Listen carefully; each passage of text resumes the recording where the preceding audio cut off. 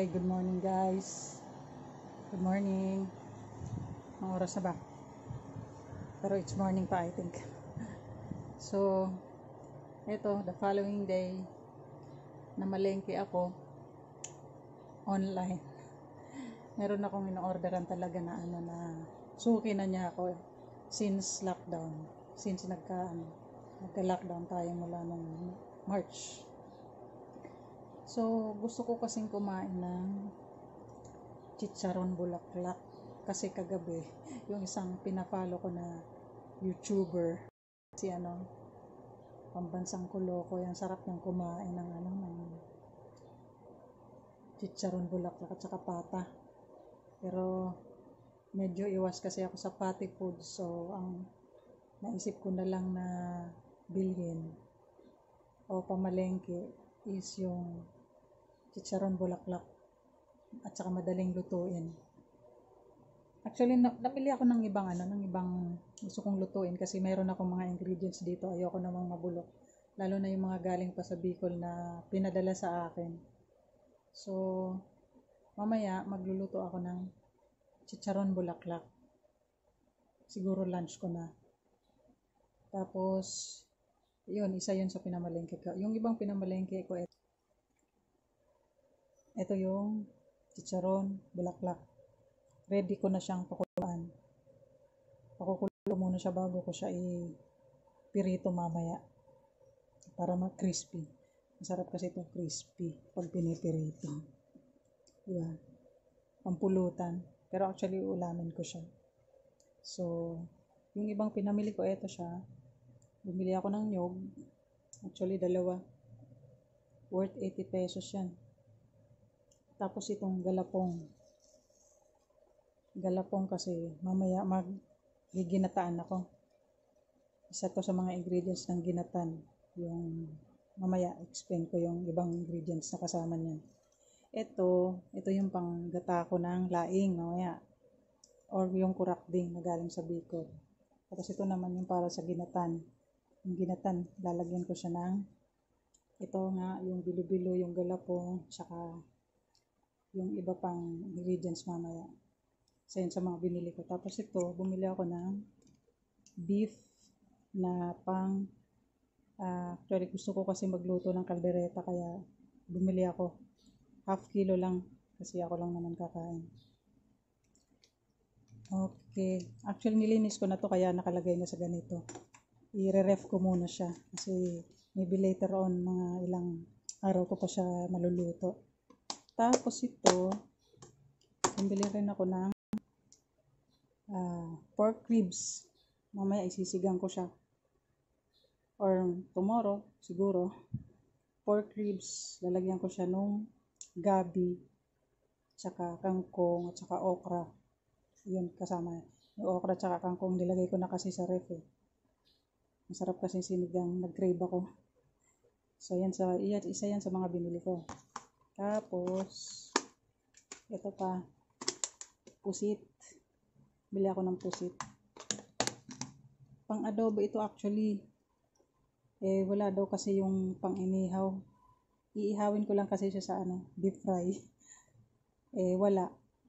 Wala daw. Kaya ito na lang binili ko. Pang adobo ko siguro. Pambaon sa, sa pagpasok ko sa work sa Thursday or Friday. So yan.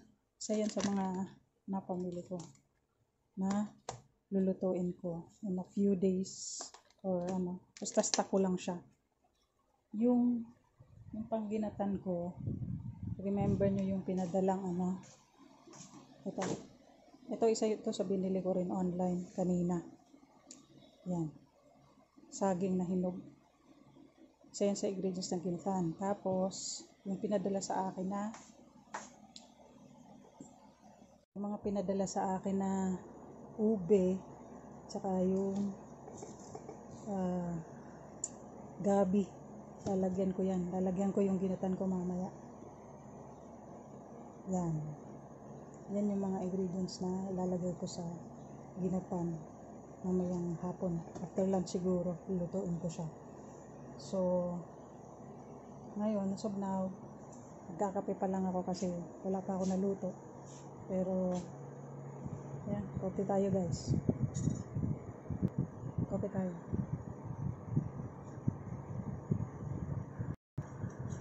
Ang kopi ko ay ito. Ito siya. Actually, pinadala ng tita ko yan from the States. Ang sarap-sarap niya. Hindi ako pala kape pero madalas. Gusto ko rin kung mag-coffee paminsan-minsan. Hindi pala madalas, paminsan-minsan. Tapos yan. Yan ang kamatch niya. Ang sarap nilang pagsamahin na coffee. Paminsan-minsan lang ako nagkakape kasi yun nga, nagpalpitate ako pag nasosobrahan. Tapos pati yung coffee na ay yung, yung sugar, granulated sugar kasi to, kasama to sa pinadala niya nung, nung November ko pa siya na, November 2020 ko pa siya na, na receive from tita ko. Ah, kasama pala to. Yung brown rice, kasama yan sa pinamalengke ko kanina online. Saglit lang. Pero actually, last last night ko pa in order kasi dapat pre-order lang lagi ang ano, online na ah, pinapalengke mo para na ano na prepare nila. Yan, isa yan sa mga pinamalengke. So for now guys, ako na isasalang ko na muna to. Pakuluan ko muna siya para ano maluto ko na mamaya.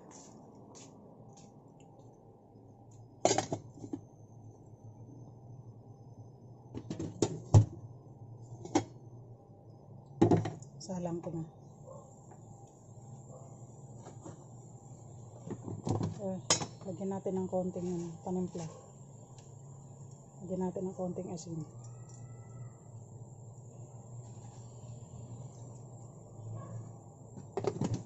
Yan. Tapos mag magka, ah, mag-slice lang ako ng luya pala para mawala yung lansa niya. Lalagyan ko siya. So ito na guys yung ano, yung luya na ni-slice ko. Ilalagay ko dun sa pakukuluan kong chicharon babo, chicharon bulaklak. Lagay ko na siya. Para yung lansa ba ng karne eh, hindi hindi ano hindi at lasa pag nagluluto ng karne. Kayo ba? Paano ba kayo magluto ng ano ng mga baboy or yung malalansa? Yung malalansang ulam na niluluto kasi yung yung luya pampatanggal ng lansa yun sa niluluto okay tayo kumain na ako ng mais remember yung mais kahapon? Kinakain ko pa kasi hanggang ngayon. Kayo anong ulam sa'yo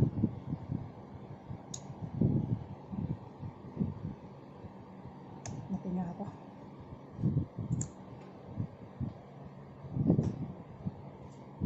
So yung pinamalengke ko is nilagay ko muna siya sa freezer para hindi masira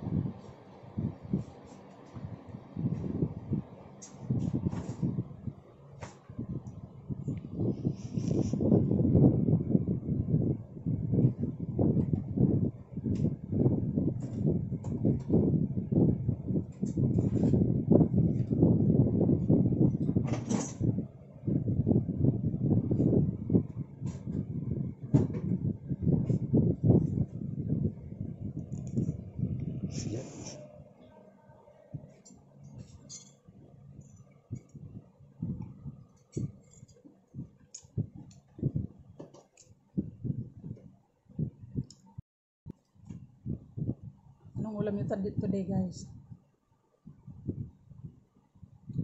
Mamaya pag naluto yung yung chicharon bulaklak, pakita ko sa inyo.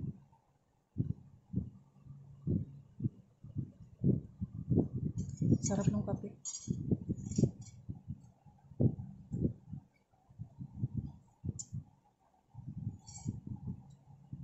Yung mug ko.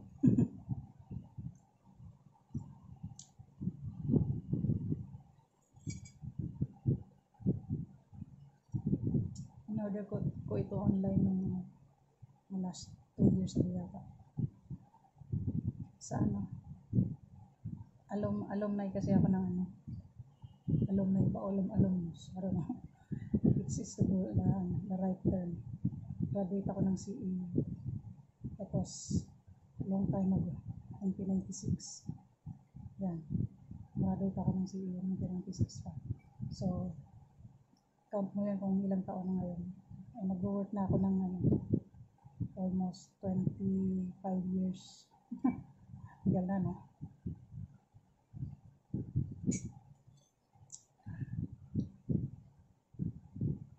Hindi ko pa naituloy yung ano yung iba kong liligpitin. Naging busy? Mamaya busy ako mag-ano papakita ko sa inyo kung paano ako magluto ng ginatan. Ginatan na ano halo-halo. Yung may saging may kong ilagay ko pala sa ref para tumigas. Mahirap kasi itong bilogin pag ano. Yung galapong dapat ito medyo matigas eh. Mahirap itong bilogin dumidikit. Lagay ko muna sa freezer